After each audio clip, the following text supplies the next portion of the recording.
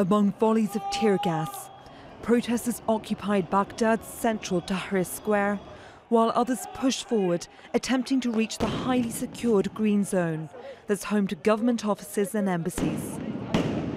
Fed up with high unemployment and what they call top level corruption, they're calling for the government to resign.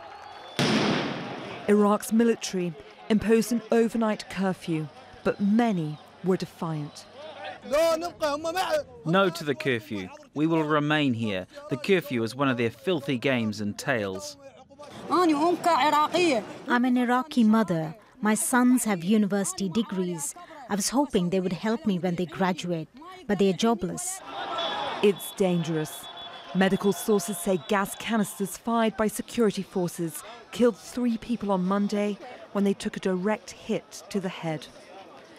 Over the past month, scores of people have been killed and thousands injured. This is a popular demand asking for greater changes, greater reforms in the government, and greater services. And this, the curfew um, is obviously a, method by the government to carry out its um, uh, its plans by uh, uh, evacuating the the main uh, areas, the main squares of the of the cities from the demonstrators. Nationwide protests began at the start of the month, but paused for two weeks as they waited for Iraq's leaders to respond to their demands. They returned on Friday with renewed anger.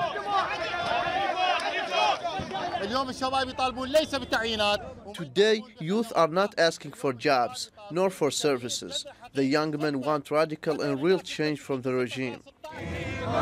Thousands of university and school students defied orders and skipped class to join the protests on Monday.